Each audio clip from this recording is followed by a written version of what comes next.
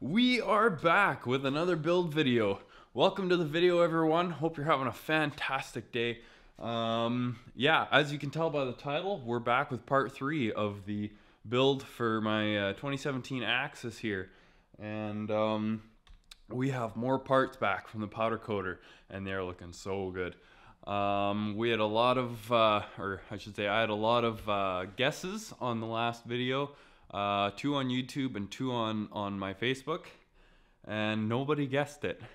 Um, so thank you guys for all the guesses and everything. That's always fun. Um, being able to interact with the viewers and stuff like that is pretty cool.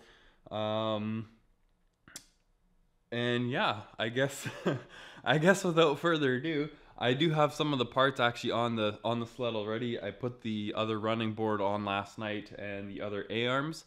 The spindle is the only thing that still um, needs to be coated. They're having a little bit of difficulty with it with all the angles and stuff on it. So um, yeah, here we go.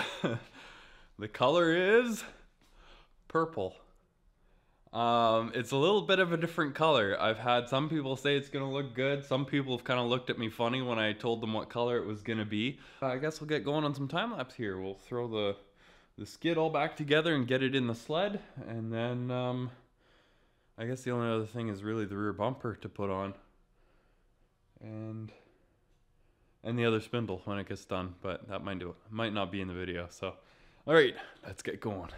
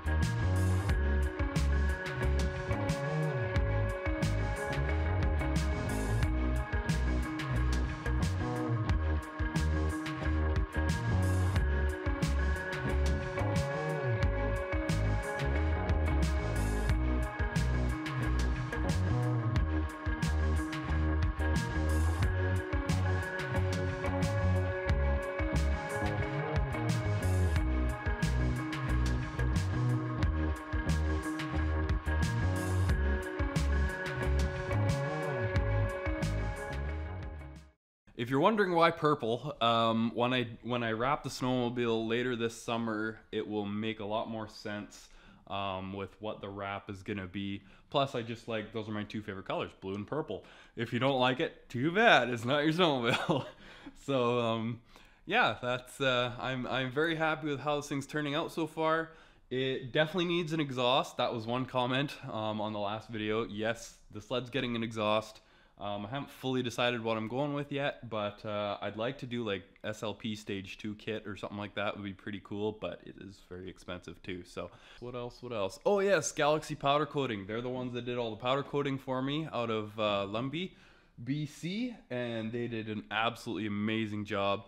Um, all the parts turned out really well. That's actually why that they're they kept the spindle on this side um, because they weren't happy with how it was turning out. So they're they're trying to get it just right. So that's really awesome for them to do that.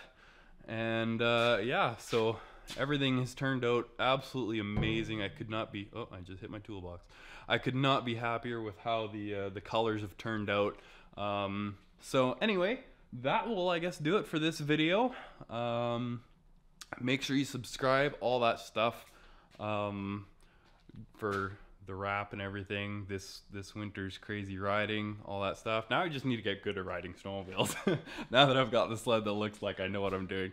Anyway uh, so that will do it for this video. If you've made it this far in the video thank you so much for watching. I really appreciate it. Uh, leave a like uh, comment. Love to hear from you guys. Uh, subscribe all that cool stuff. And uh, yeah i'll see you in the next one. Peace